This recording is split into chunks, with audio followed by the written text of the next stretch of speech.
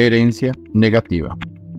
Tenemos que apoyar la administración actual para que recupere el tiempo perdido y tenemos que aprender la lección. No podemos votar por desconocidos y desconocedores de Medellín. Por Juan Gómez Martínez. Sin ninguna duda, la herencia que recibió el alcalde Federico de la administración anterior es negativa. Solo deudas, despilfarro, favoritismos con parientes y amigos y descuido de la ciudad.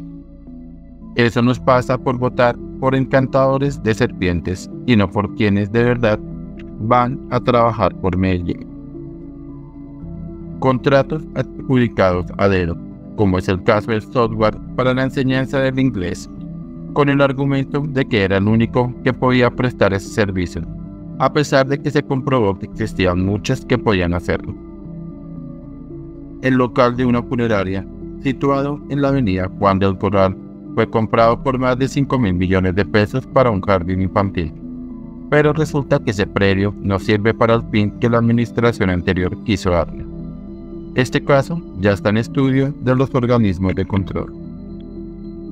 Un asunto ya denunciado y que está en manos de la Procuraduría es el de los miles de vehículos que están en los patios del tránsito para la venta y chatarización de esto se aprobó vender el kilo por 98 pesos cuando el precio real en el mercado era de 1.600 pesos. Favores para los amigos que por fortuna se lograron detener.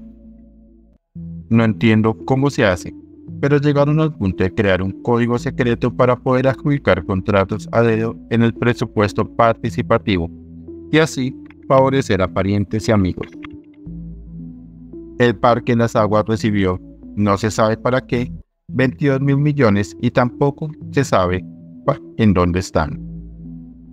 Recursos importantes que podrían servir para otras entidades de servicio social en un distrito que tiene tantas necesidades. Eso se convierte en un despilfarro innecesario. Los parques y las zonas verdes del distrito se han descuidado por muchas administraciones. Esperamos que los contratos que se han firmado con Metroparques sirvan para sacar a esta entidad de las dificultades económicas que padece y que las zonas verdes y los parques de la ciudad recuperen su belleza para que la gente disfrute de sus bondades.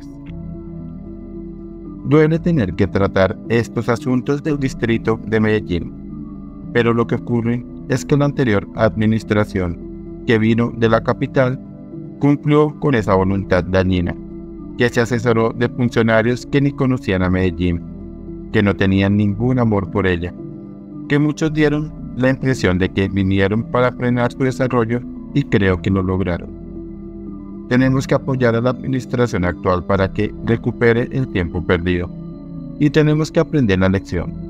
No podemos votar por desconocidos y desconocedores de Medellín y hacerlo por quienes sí sabemos que trabajarán con cariño y voluntad por el distrito. Ayudemos a nuestros gobernantes, alcalde y gobernador, que han mostrado su voluntad de servicio por el distrito y el departamento, y no volvamos a creer en promesas de desconocedores de nuestro territorio.